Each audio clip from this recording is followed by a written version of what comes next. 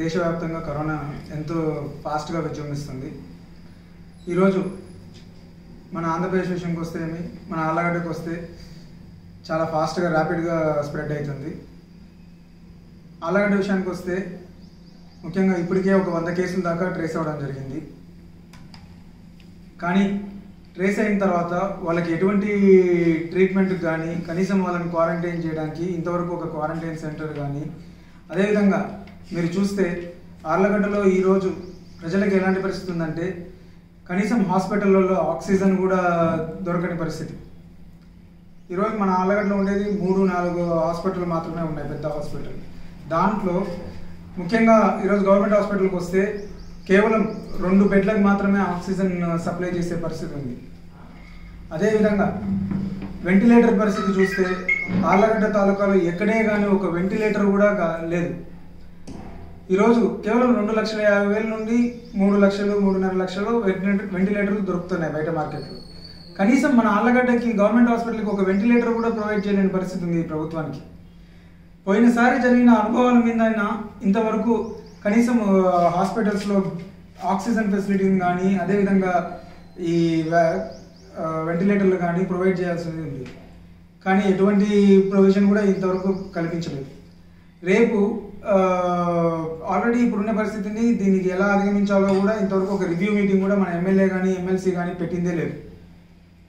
వాళ్ళకి ఎప్పుడు చూసినా కూడా వాళ్ళ ప్యాక్ ఆట లేదంటే వాళ్ళ ఈరోజు ప్రజల్ని ఎట్ట దోచుకుందాము ఇసుకలో కానీ మద్యంలో కానీ ఈ ఈ ఇటువంటి దాని మీద తప్ప మనకి గెలిపించిన ప్రజలకి ఏదైనా చేద్దాము ఈ కష్టకాలం వచ్చింది ఈరోజు చాలామంది ఇబ్బంది పడుతున్నారు.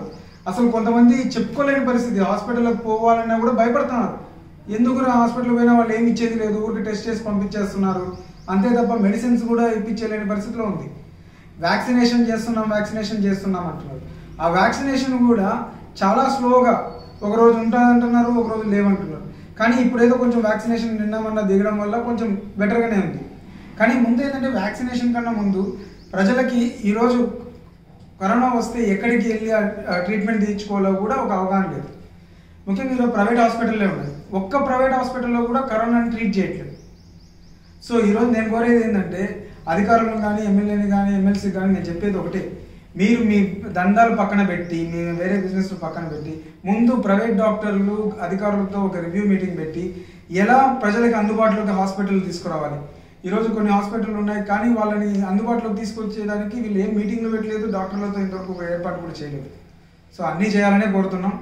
ముఖ్యంగా ప్రజలకు కూడా మేము ఏం చెప్పేది ఏంటంటే ఇది సెకండ్ వేవ్ చాలా డేంజరస్గా ఉంది. మీరు అందరూ జాగ్రత్తలు తీసుకొని ఖచ్చితంగా బయటికి అత్యవసరమైతే తప్ప బయటికి రావద్దని ఒకవేళ వచ్చేపాటైతే ఖచ్చితంగా మాస్క్ శానిటైజ్ శానిటైజ్ చేసుకుంటూ ఉండండి. అదేవిధంగా సోషల్ డిస్టెన్స్ ఖచ్చితంగా మెయింటైన్ చేయండి. అధికారులు కానీ ఎమ్మెల్యే గారు కానీ ఎమ్మెల్సీ కానీ మీకు చెప్పేది ఒకటే. మీరు ఇప్పటికైనా మీ నిద్ర మాని ఎక్కడున్నారో మీరు?